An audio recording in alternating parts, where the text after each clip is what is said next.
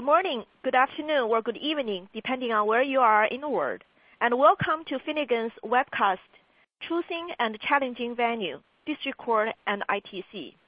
My name is Ningling Wang. I'm Managing Partner of Finnegan's Shanghai office.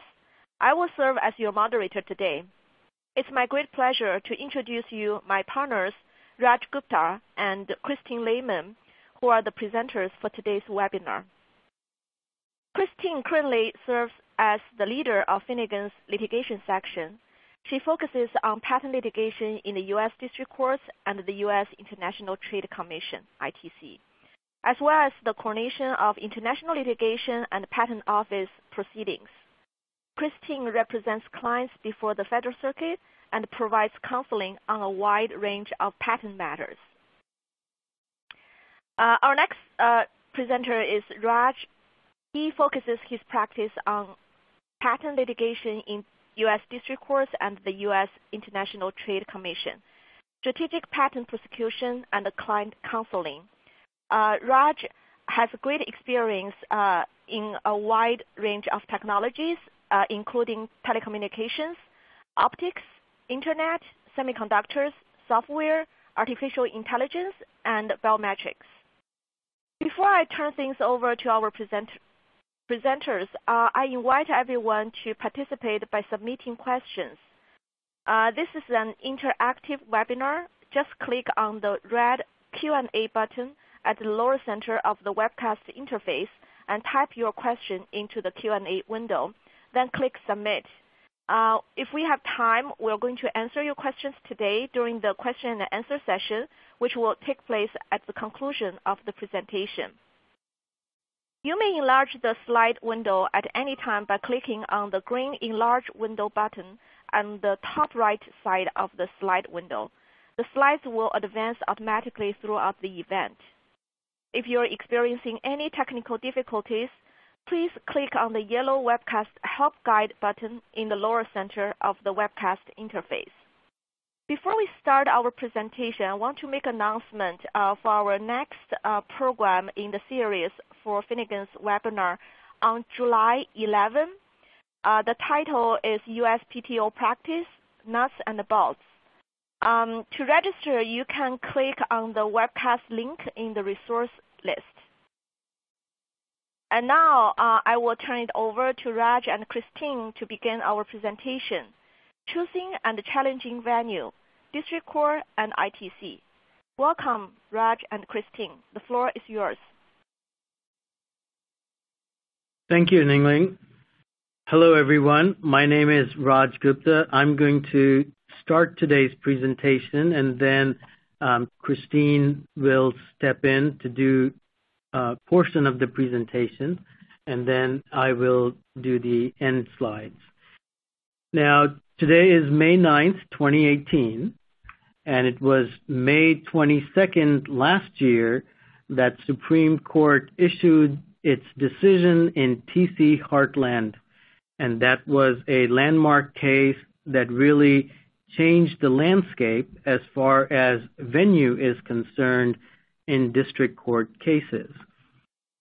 So that is going to be the topic for today's discussion how things have changed over the last year since the Supreme Court issued its decisions, what lessons we have learned from it, and, and how the case law has developed to answer some of the questions surrounding venue and what questions are still left open for the courts to decide. So moving to slide number two, the first question that comes to mind is why does venue matter?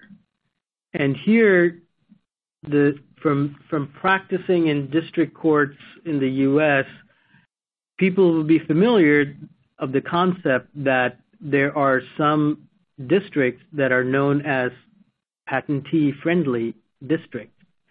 And Eastern District of Texas is perhaps the one that comes first to mind when people think of patentee-friendly districts. So why is that? So as it is shown in this chart, which is taken from Pricewater, Price, PricewaterhouseCoopers 2017 patent litigation study. What it what is shown here is for a number of the most popular districts in the U.S., what are the overall number of cases that are filed in each of these districts? What are the overall success rates? What are the damages that are awarded? And what is this time to trial? And each of these factors plays an important role in the decision-making process for a patent owner when they are choosing where to file their case. And one of the things that'll perhaps strike you first is when looking at the overall success rate, the Eastern District of Texas actually has an overall success rate of 54%. And this is uh, statistics that is averaged over um, last 10 years ending in 2016. So keeping all of these factors in mind, you know, it becomes clear that Eastern District of Texas has sort of gotten to the top in terms of being one of the most popular districts for patentees to file patent infringement lawsuits. Now, in discussing today's topic, what we have tried to do is carve out the agenda for today's discussion into four different topics. so First of all, we'll set the stage by discussing the Supreme Court's decision in T.C. Heartland itself. Then we will talk about what are some of the impact that we have seen in in based on T.C. Heartland in the filings in the district court and also in the International Trade Commission. There are certain specific issues that that T.C. Heartland has raised, uh, namely, have Uh, uh, the defendants in the patent infringement lawsuits, when when would they have waived the defense of improper venue? And did T.C. Heartland, was that a change in intervening law such that the waiver principles wouldn't apply? And then we will end with some um, questions on topics that where the law is still unsettled and developing, but we will we will discuss some of those topics in more detail. So moving to slide uh, four now, the question that was presented to the Supreme Court in the T.C. Heartland case was, where does proper venue lie for a patent infringement lawsuit that is brought against a domestic corporation? And in particular, or more specifically, the question really presented was whether the word resides as it appears in in the statute 1400B, should that be interpreted using the definition that is provided in the general venue statute, which is 1391C. And we will take a look closer look at these statutes um, in just a minute. So to set the stage in terms of the background of the facts that led to the T.C. Heartland decision, so this is a dispute between two companies, Kraft as the plaintiff and Heartland as the defendant.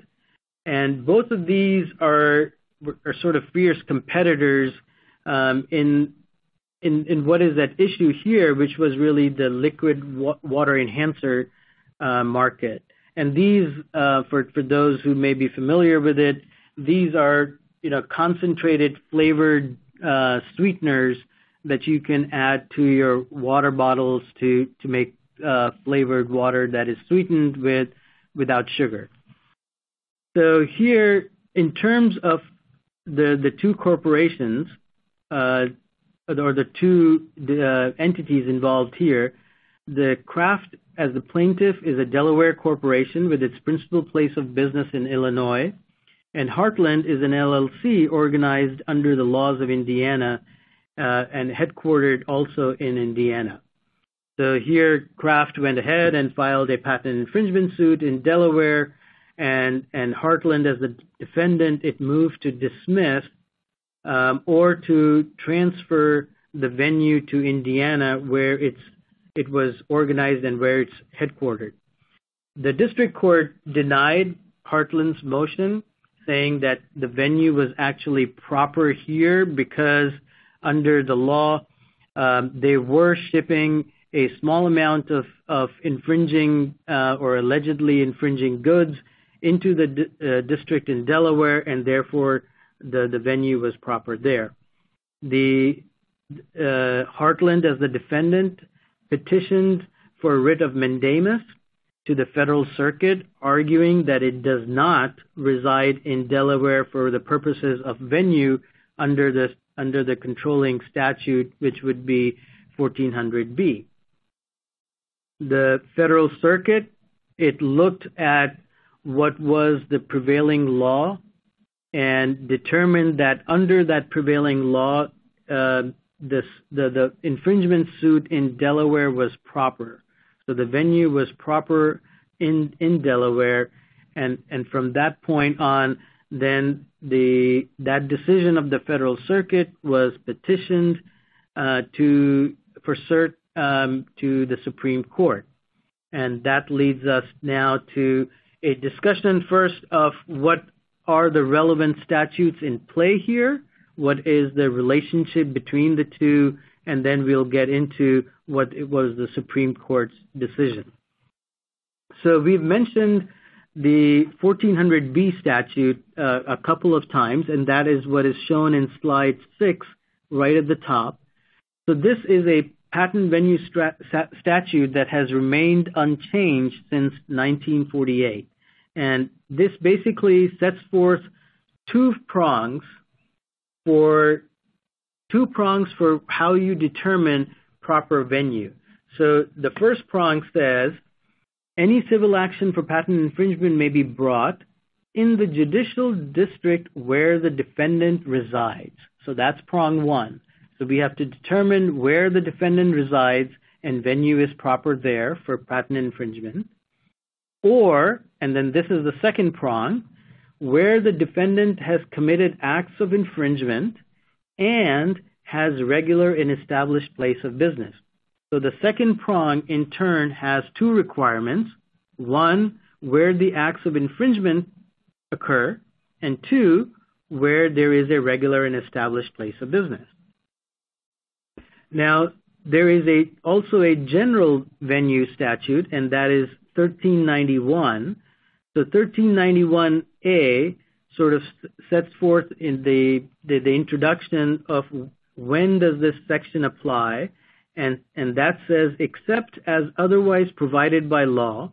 And then the residency statute, which is the more general venue statute, that is 1391C, which states that for all venue purposes, and then it goes on to 1390C2, which is the general venue statute, which states that it can, shall be deemed to reside if a defendant in any judicial district in which such defendant is subject to the court's personal jurisdiction with respect to the civil action in question. So in other words, that the general venue statute defines the venue to be proper wherever the court has personal jurisdiction. Now, the Federal Circuit's reasoning for finding that the venue was proper in Delaware relied on the fact that 1391C is the controlling uh controlling statute for venue. And why did it reach that decision? Because it had already ruled back in 1990, and this is when VE Holdings was decided, that the definition of corporate residence in 1391C applied also to the patent venue statute in 1400B. And and the reasoning it it got there was because the general venue statute was actually uh, modified in in 1988, and therefore the VE Holding interpreted the statute as it existed back then in its decision in 1990. But after the 1990 VE Holdings decision, Congress again amended 1391C to what was shown in the previous slide, which is the current version of 1391C. And in evaluating that change, the Federal Circuit said, well, by changing from for the purposes of venue under this chapter, which is what the 1391C language was when VE Holdings was decided, compared to what it says today, which is for all venue purposes, Congress actually broadened the applicability of 1391C. So therefore, its holding in VE Holdings remained the current law, which which compelled it to say that the District of Delaware was the right district. Now, the Supreme Court reversed. And this was a unanimous decision by the court with Justice Thomas writing the opinion. Justice Gorsuch did not participate in that um, in that holding or in that decision.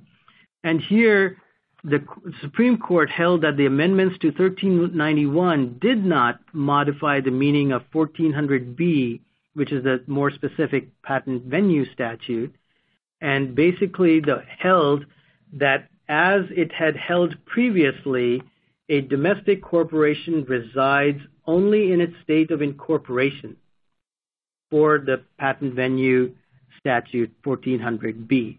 So that is the holding of the Supreme Court. And the reasoning behind the Supreme Court's decision, and, this, and we are now on slide nine, is that number one, Congress did not amend 1400B in all of this time. The only thing that has changed, and it has changed twice, has been the version of 1390C. And, and the current version of 1391C did not contain any indication that Congress intended to alter or change the more specific patent venue statute in 1400B. In, in fact, the Supreme Court stated that when Congress in, intends to make such a change, then it ordinarily provides a, pretty clear indication of that intent in the amended provision uh, that is that is at issue. And here there was no such indication that it intended to make that change. Second, it focused on the difference between for all venue purposes compared to for venue purposes and determined that the addition of that word all did not did not suggest that Congress intended the court, the Supreme Court, to reconsider its decision in Fourco. And Fourco, uh, it was the controlling uh, interpretation of the general venue statute and the patent infringement statute as it existed back then.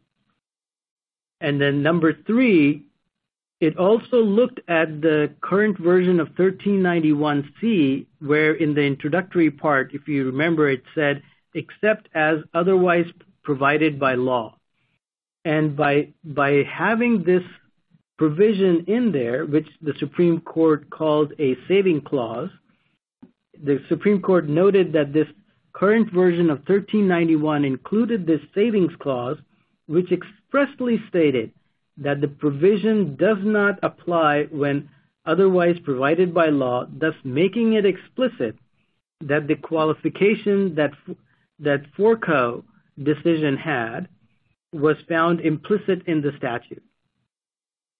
And the last point that they made, the Supreme Court made, was that there was no indication that Congress in 2011, when they amended the 1391C, that it had somehow ratified the, the Federal Circuit's decision in VE Holdings, which is what the Federal Circuit was relying on.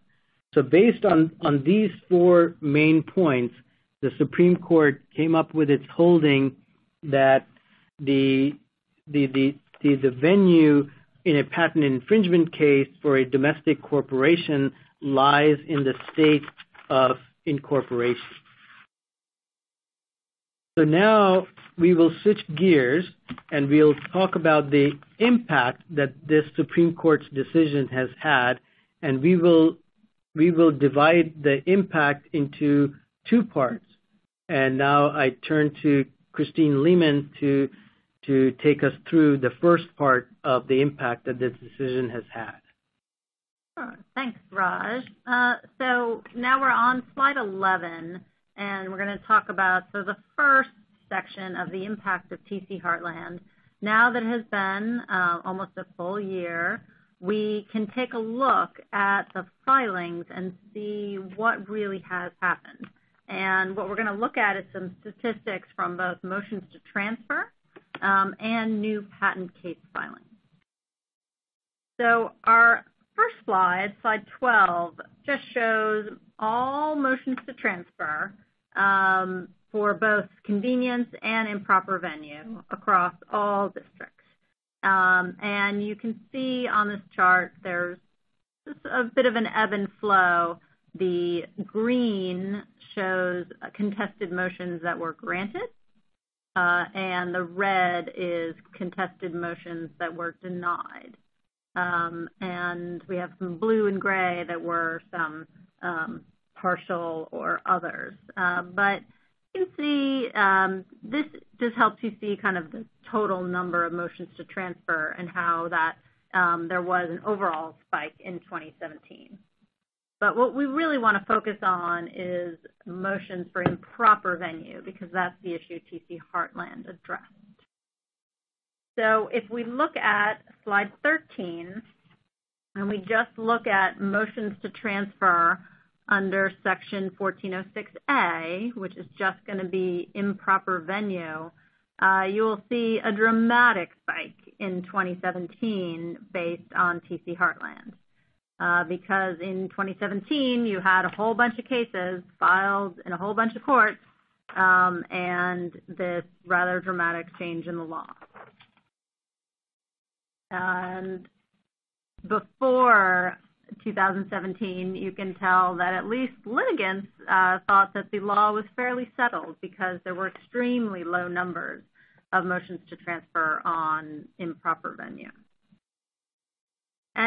Now, if we turn to slide 14, we can see we've broken down these motions to transfer for improper venue to some of the most popular districts and some of the districts that have had the biggest impact based on TC Heartland. So the Eastern District of Texas is very well known.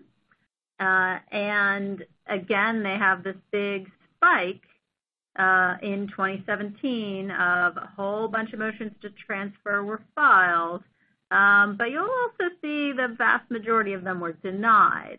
And we'll get into that a little later. Um but at least initially in 2017, right after TC Heartland was um, came out, there was some reluctance to transfer out of the existing cases out of the Eastern District of Texas. And now, if you look to the next slide 15, we have the District of Delaware, which has also always been a um, popular uh, forum for patent litigation. And you'll see there's a little more of an even split between motions to transfer that were granted or denied. And there's still a spike in 2017, but not that many total motions. Um, still only 17 motions to transfer as opposed to 39 in Texas. And then turning to the Northern District of California, another popular forum for patent cases. They are shown in slide 16. Again, no motions to transfer prior to 2017 on improper venue. Um, but then they start to happen in 2017 and 2018. So we can definitely see that motions to transfer suddenly spiked in 2017 in response to TC Heartland, as everybody tried to figure out whether existing cases would be transferred to the venue under those rules. Um but the other aspect we wanted to look at is now that we have a year's worth of data, is the impact on new filings. Uh, because we certainly have impact on existing cases and whether those were moved. But after TC Heartland comes out, now litigants have to make a new decision of, okay, where am I going to file and where do I have venue? So our first slide, 17, just gives you the general trend of all new patent cases filed across all districts. And this is really so you can get a little baseline and see there was, of course, a big uptick in 2012, 2013, a little down 2014, high in 2015, and then it's been uh, still fairly high 2016, 2017, and it looks like 2018 will be about the same. But now, if you compare that graph to just new cases filed in the Eastern District of Texas, as shown in slide 18, you'll see a big drop in 2017, a much bigger drop than we see for all cases, because people, while everybody still, plaintiffs anyway, like the Eastern District of Texas, it is much harder to meet the venue test there now with T.C. Heartland. And based on uh, estimates for 2018, it looks like it could go down even further for the Eastern District of Texas. Then turning to slide 18, we have Delaware, and you're going to see the opposite effect. Because of T.C. Heartland and the district of where a company is incorporated, and many companies are incorporated in Delaware, in 2017, there's actually a very significant uptick in new patent cases filed in Delaware, and we expect that trend to continue in 2018 as well. Essentially, there are fewer cases in Texas and more in Delaware, which is largely what we expected to see, but now we have a year's worth of data to demonstrate it. Similarly, in the Northern District of California, you can see on slide 20, there was instead of the number of new cases going down in 2017, as they generally did across all districts in Northern District of California, the number of new patent cases actually went up in 2017, and it is estimated to go up even more significantly if it stays on track in 2018.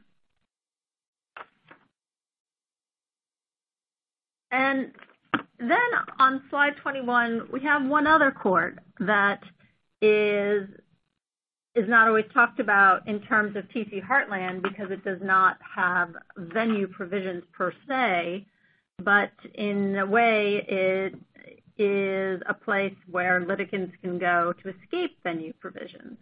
The International Trade Commission has had some uh, some big swings in the number of new complaints filed under Section 337, but in the last couple of years, those complaints have been increasing. And we don't have the kind of motion to transfer data and uh, new case comparison data that we have for district courts, but we do know that the number of complaints is increasing at the ITC. So just to summarize our statistics, for 2018, looking forward, it's still estimated that the majority of all new patent cases are going to be in three states, Delaware, California, and Texas, and very significant amounts in Delaware, California, and Texas, split fairly evenly as T.C. Heartland and some of the case laws continues to shake out. Uh and then a number of other jurisdictions are still have maybe around 5%, but patent litigation in the district courts is going to continue to be dominated by those three states. Uh, and there also is this increase in filing of ITC complaints. Now, the impact on ITC filings is a little harder to discern, um, as I mentioned before, um, but it has been increasing, and it is largely expected to continue increasing because it offers a couple unique remedies. Uh, it is fast. You typically get full resolution in 16 months and a trial in eight or nine months. And as these courts, such as Delaware, start having heavier burdens on them and get slower, the ITC will remain a very popular forum. Uh, it also has jurisdiction to overall imported goods, you don't have the same concerns you might have in district court of trying to uh, get discovery from foreign entities. And another factor that might be um, playing into the increase in ITC filings is as opposed to district court, the ITC does not like to stay their case for pending IPRs. And they have generally refused to do so. Uh, so they don't have the sort of slowdown in litigation that many district courts might be subject to.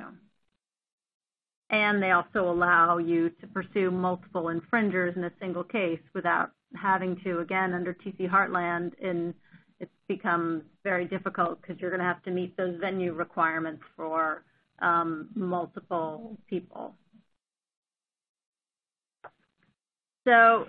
Not every case will be able to be filed in the ITC, of course. Uh, the ITC does have very specific requirements. You have to have an act of importation. Uh, you're going to have to have a domestic industry, and there uh, are no monetary damages.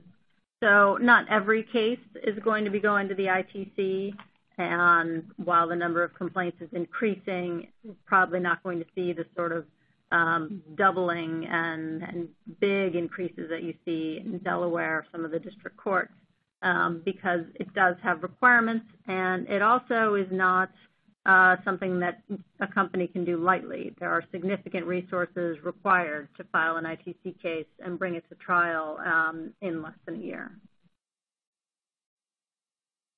And now I'm going to turn it back to Raj to talk about the second part of the impact of T.C. Heartland. Great. Thank you, Christine. So what in the second part, we're going to touch on a few issues, but we're going to start with um, finding out, well, what happened to the original case that actually went up to the Supreme Court, the actual T.C. Heartland case. And then we'll talk about um, situations under which one can waive the defense of improper venue, and how does the fact that there is an intervening change in law, how does that affect the waiver analysis? And then the last two topics turn on some specific issues associated with the patent venue statute, namely, what is the interpretation of regular and established place of business that has generated quite a bit of litigation itself. And and then just briefly, what what is the impact of having to prove that the acts of infringement occur in a particular district for venue purposes? And then we will end today's discussion with a discussion of some issues that are still being uh, debated in the district courts, uh, and the law is not settled on those issues. So moving first back to the original um, Kraft versus T.C. Heartland case. So if you recall the history, in the district court, Heartland, as the defendant said, nope, the venue is not proper here. I should be in Indiana. And the Federal Circuit agreed with the district court, nope, that you stay in Delaware. And then the Supreme Court came down and said, reversed the Federal Circuit, and therefore remanded the case back to the Federal Circuit, which would have ultimately remanded back to the district court um to determine whether it's holding. And and to remind everyone, the Supreme Court's holding is that for domestic corporations, the venue lies in its in the state in which it is incorporated.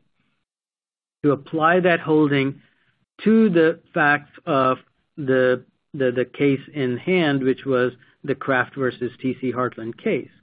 So here, once the Supreme Court's decision came down, Heartland, as the defendant, was very quick to file a motion to renew its motion to transfer venue, arguing that the Supreme Court just decided this issue, and therefore, I do not belong in Delaware. Kraft having obviously paid careful attention to the Supreme Court's decision, said, "Not so fast." The Supreme Court's holding and decision in the T.C. Heartland decision is limited to domestic corporations, and Heartland is not a corporation. It is an LLC, and therefore, the Supreme Court's holding in that very decision does not apply to the defendant, Heartland. It kind of sounds a little bit crazy, but but that was Kraft's argument, and it made a valid, legitimate point, which is that the Heartland holding, the T.C. Heartland holding, is limited to corporations. The Supreme Court did not express an opinion about what is the proper venue analysis for unincorporated entities. So therefore, the district court, and this case was in front of the Chief Judge Stark, uh, Judge Stark was left to basically decide this issue all over again, but now for for unincorporated entities. However, before a decision could be made by the district court, the parties settled, so we never really got to know what what the uh, Delaware's decision would have been for that original T.C. Heartland case, which which would have been interesting as as a side note anyway. Now, once the T.C. Heartland decision came down, there were a number of defendants, as Christine pointed out, there was this flood of motions to transfer by defendants arguing that the Supreme Court's analysis of venue for patent infringement cases required the district court that had the case to transfer it out of that district into the proper district. But not all of these motions were successful, again, as Christine pointed out in her presentation. And and a large part of that uh, process or denial was based on the fact that the district court would determine that the defendants have waived have waived their objection to to improper venue. So there are a number of rules that are within the federal rules of civil procedure that prescribe when a party has waived the venue defense uh, if it is not properly raised. For example, under Rule, uh, the federal rules of civil procedure, Rule 12H1, a party waives its objection to venue unless that party files a motion under Rule 12B3, which would be the motion for improper venue, or includes the venue defense in its initial responsive pleading. If it fails to do that, then a district court can find that the party has waived that venue defense. Now, moving to slide 28, there is an exception to that waiver analysis, and that exception is when there is an intervening change in the law. And this is designed to sort of avoid penalizing the defendants if that defense wasn't even available to them at the time they were to raise that defense. So or or it prevents the defendants having to somehow um, be able to predict that some well-established principle of law would later be overturned, and therefore they should make that objection uh, at that time. So so here, um, the district courts really differed in their analysis on whether whether the T.C. Heartland decision itself constituted an intervening change in law such that it would it would not be a waiver, or it would constitute as an exception to the waiver analysis. So as it is shown on slide 28 here, there were a number of of districts, including the Eastern District of Texas, which said that the TC Heartland did not qualify as an intervening change in law. And then there were other districts um, that held that TC Heartland was a intervening change in law. Now, the, implications of this obviously go beyond the patent venue context in the sense that if you if you interpret the intervening change in law very strictly, then its impact will be that you will be incentivizing you know, parties to be filing motions uh, trying to overturn well-established principles of law. And if you have a more lenient approach, then that's less of a less of a concern, and and, and less of a concern of overburdening the courts um, with this analysis. Now, this issue then came up to the the Federal Circuit, and in In re Micron, that was the case where the Federal Circuit said that typically the waiver analysis would apply, except here the argument that the TC Heartland uh, holding gave the defendants, which was that 1391C was not tied to the specific patent venue statute, that was not available to the defendants. So, so therefore, in re micron, it stands for the proposition that TC Heartland is an intervening change in law. So for all of those decisions where the district court would have found waiver, that waiver would be sort of excused, if you will, um, based on this intervening change in law. But even the Federal Circuit remanded the case back to the district court in in re micron and and, and asked the district court to also consider if there were other considerations, uh, other forfeiture considerations that would um, be that would also have some relevance here. And what is what is meant here really is that for the district court, the district courts have an inherent power to control their own docket.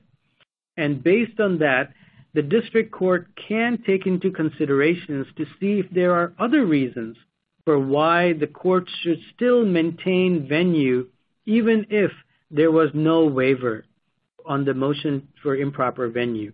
And and and this could be reasons such as you know very very simple reasons such as you're only two weeks away from trial. So therefore, it is in the interest of judicial economy or efficiency for the district court to retain uh, venue in that district. Now, the second topic that has really been evolving since in the last year deals with the second prong of 1400B. So if you recall, 1400B has two prongs, and the second prong requires both acts of infringement and that there is a regular and established place of business for the venue to lie properly in that district. So here, the, there are two important questions that this analysis raises. Number one, who bears the burden of proving that there is or isn't a regular and established place of business? And here the courts are still split. The, there are certain circuits where, where it, it is the plaintiff's burden, and in other circuits, there it is the defendant's uh, burden. So that's another area that we will probably see some development to see if there there should be more uniformity. But that's not what we're going to talk about. We're going to focus more on the nuts and bolts of how what are the factors and how do you determine whether a place is or is not a regular established place of business under 1400B. So the controlling case for that deals with uh, Raytheon versus Cray, which which was in Eastern District of Texas. And here, the facts of the case are that there were.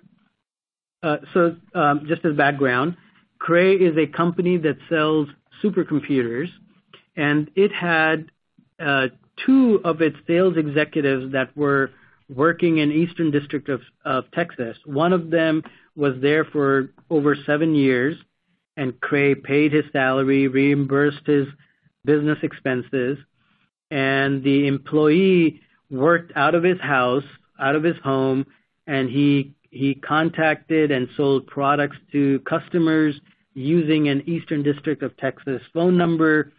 And, and then there was also a second employee who also worked from his home who also resided in Eastern District of Texas. So the, uh, so the judge in Eastern District of Texas, Judge Gilstrap, he came up with a flexible four-factor test and those four factors are articulated here in slide 32, um, saying that number one, there needs to be a physical presence in the district. Two, that the extent to which the defendant represents itself as having a presence in that district is important. Number three, uh, if the defendant derives any benefit from its presence in the district, like for example, if there are uh, revenue from sales. Uh, number four, the extent to which a defendant targets customers in that district as well. So, for example, by by doing customer support or marketing in that particular district. And this was a very flexible approach. Um, you know, not all four factors needed to be present, and that under that analysis, the Eastern District of Texas held that the venue was proper in Eastern District. The case was appealed to the Federal Circuit. The Federal Circuit reversed, and it rejected the four-factor test. And its primary reason for rejecting the four-factor uh, test was that it was not sufficiently tethered to the actual language of the statute, 1400B, which said you know, it, it has to be a regular and established uh, regular and established place of business of the defendant. So based on that language, the Federal Circuit articulated that there are three requirements for proving a regular and established place of business. Number one, it has to be a physical place, and this cannot be merely some virtual space or or the fact that you're having electronic communications between people who reside in that district. No, there has to be a physical place. Number two, there has to be a regular and established place. And by regular, what is meant is that there there has to be some steady, uniform um, presence. It can't be just sporadic or it can't be just a single event. And then as far as it being established that it has to be settled or it has to be certain, it has to be fixed permanently. So there needs to be some some aspect of permanence present. and then the third and the, the most important factor for the for the facts in hand here was that it has to be the place of the defendant. It can't merely be place of the employees of the defendant. And here, there are a number of factors that uh, were relevant. For example, does the defendant lease or own in any way the, the homes of the employees, and which was not the case here? Does the defendant condition employment of the employees based on the fact that they work from home uh, in those locations? That was also not the case. There was no inventory or, or anything like that um, kept at home of these employees. So, so all of these factors taken together led the Federal Circuit to conclude that that last factor, that the that the place must be a place of the defendant was not satisfied here, and therefore it was not a regular and established place of business, for Cray, and therefore the venue was not proper.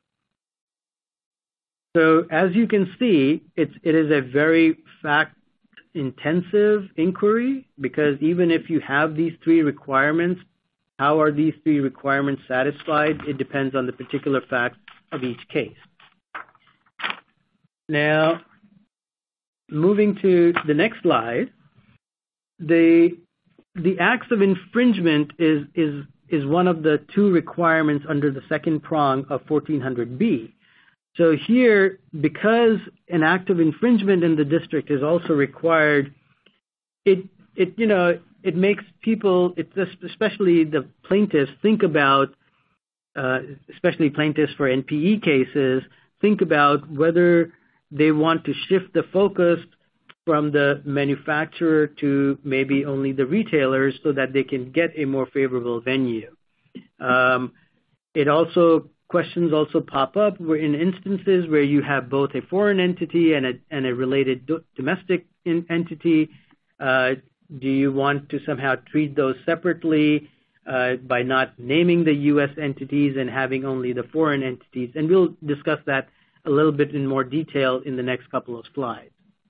And then there's another um, issue that is there with acts of infringement, and this occurs in the context of Hatch-Waxman cases or ANDA cases. And this is an issue that is quite complex. It is evolving, and it is hotly debated currently. And so we don't have the time to adequately address that. So we're going to skip over that portion of uh you know this debate, and we'll leave that for a future presentation on this topic. So that leads us to the final section. Um we should what we're going to do here is, in this final section, we're just going to touch upon three or four important topics where the district courts and the practitioners and the clients are still wrestling with what is the right answer here, and the law continues to develop. The first one deals with unincorporated entities. So if you will recall, the T.C. Heartland decision is limited to domestic corporations. So the question comes up is, how do you treat Uh, reside for unincorporated entities? Is it is it the same analysis? And some courts have come out and said that the analysis for the venue for unincorporated entities is the same as that for the corporated entities, in that in that you look to the state in which its principal place of business would be. Or is it something that's broader than that?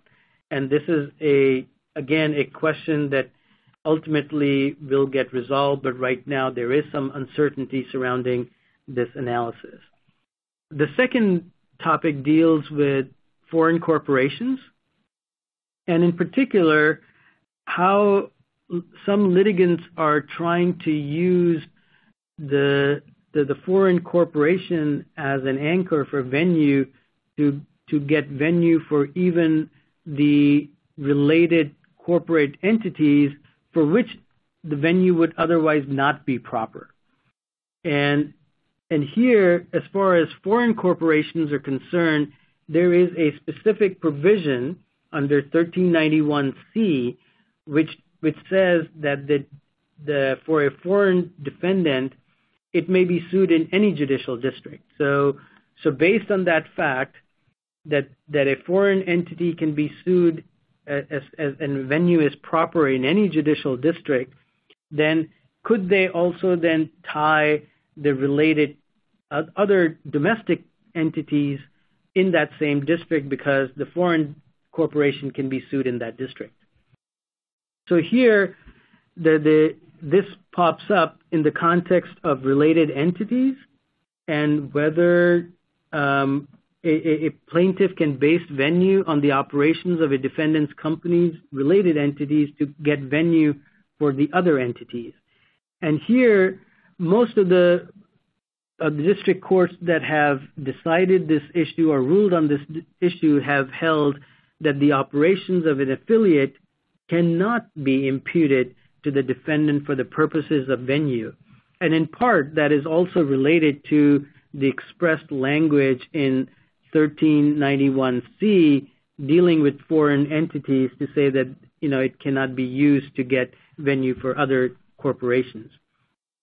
Now, there is also a possibility that that in certain instances, the courts may look to see what is the actual corporate relationship between the entities. For example, the the key determining factor that seems to be at play in the decisions where the courts have refused to impute the operations of an affiliate to other related defendants is the fact whether there is formal separation between these two corporate entities. For example, do they maintain different financial books? Do they have you know separate corporate legal structures that are maintained as such? And those kind of factors are relevant in trying to determine whether the activities of one entity can be imputed to another. The the last issue that we're going to touch on, and this is our last slide, uh, will be pendent venue. And this is a topic where, uh, so just just as background, the pendent venue doctrine, it allows courts to hear claims as to which venue is lacking if those claims arise out of the same, and here's the legal phrase that is the magic legal phrase, out of the same common nucleus of operative facts as other claims to which venue is proper. So an example is if you were to plead patent infringement, and along with that, you also plead, Um, let's say, unfair competition, which is which which can be, let's say, pled such that it is proper in the in the state court or in the district in in the state where that unfair competition occurred, then can you also tie your patent infringement claim to that such that you would have venue proper properly in that district?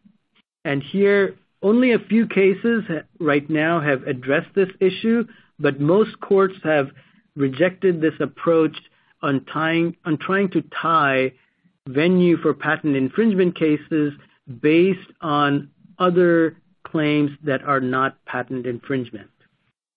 So in in summary, um in summary, the T.C. Heartland decision has certainly changed the landscape in terms of where people are thinking of filing new cases, the redistribution of cases across districts, but it has also, in the year that has almost a year that has passed since that decision, left a lot of questions that remain unanswered, and the law will continue to develop in this area in the months to come. So with that, we'll take um, questions. Yeah. Thank you, Raj and Christine, for the wonderful presentation. Uh, very uh, informative and interesting uh, topic here. Um, and um, as we can see, T.C. Heartland, this case, has certainly made a major impact in the decision-making process for litigants regarding where to file patent cases. So my first question here uh, is that, uh, what do you see as the next development that may affect the choice of district court in which to file cases? Um, I think one of the most important uh, factors is going to be monitoring closely the caseload of these of these district courts as this redistribution of cases takes place. For instance, the District of Delaware has certainly increased the number of filings on its docket, and the district has four active judges normally, but right now, two of them are are not available in the sense that they've retired or they've gone senior status, and therefore, they have only two active district court judges. And and and the the time to trial will certainly get affected by the workload, the case workload of these districts.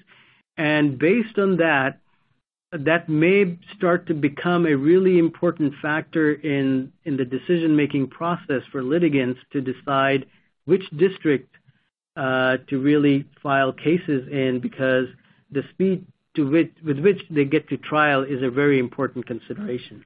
So we'll have to monitor the caseload and the time to trial pretty closely.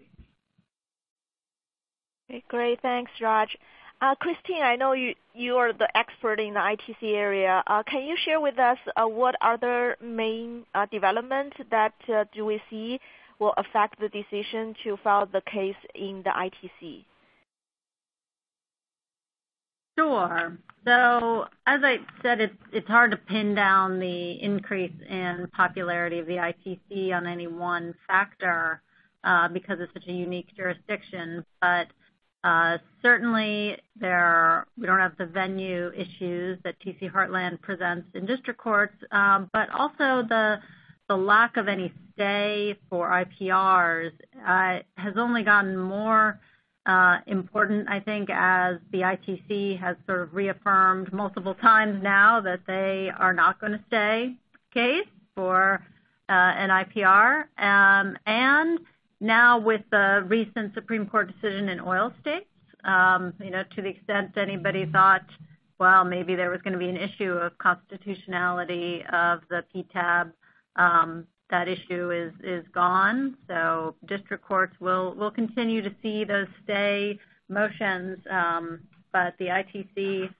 I think people have pretty much given up filing them uh, because it's just not they're not ending up being uh, granted. So I think that's probably the biggest factor and even the other Supreme Court uh, decision in, impacting IPRs, SAS, I think is also going to contribute to the, the ITC just remaining popular.